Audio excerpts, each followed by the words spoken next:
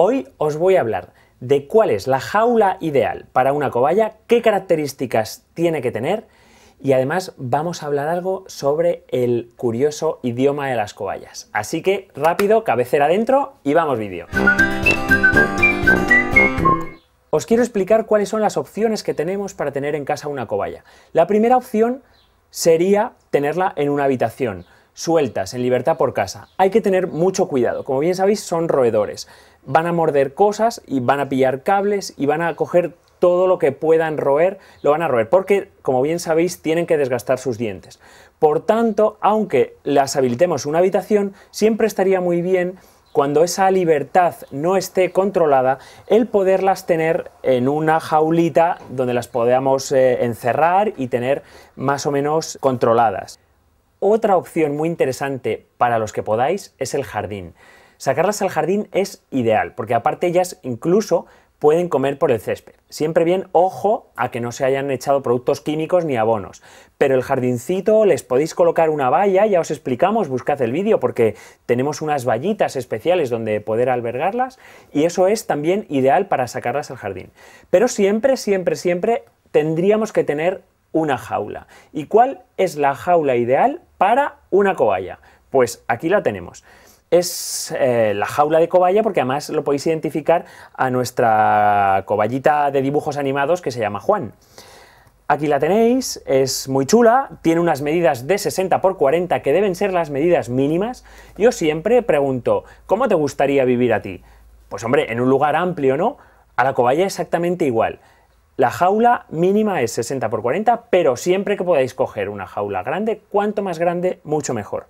Aquí tenéis un lugar para el heno y como veis, se desmonta de una manera fácil y sencilla. Dos abrazaderas a los laterales y vamos a instalar a una coballita de estas dentro. La jaula ideal no debe tener esquinas ni puntas salientes ni nada que el animal pueda clavarse. Es fácil porque incluso nosotros mismos con nuestra mano, pues podemos investigar un poco cómo transitaría el animal en la jaula y que veamos que es todo romo, que es todo redondeado y que no se puede dañar con nada. Muchos de vosotros veréis que en algunas jaulas hay dos pisos. Bueno, hay que tratar de evitar para cobayas estas jaulas que son de varios pisos. Las cobayas son un pelín torpes, permitidme la expresión. Eh, Quizás cuando se elevan en altura es fácil que caigan. Para otros animales, pues sí, otros animales les encanta trepar y son más ágiles, pero para las cobayas no. Lo ideal es que sean de una única superficie. Incluso si tienen dos, que tengan que esa rampa no, no sea deslizante. Ya sabéis que queréis la cobaya.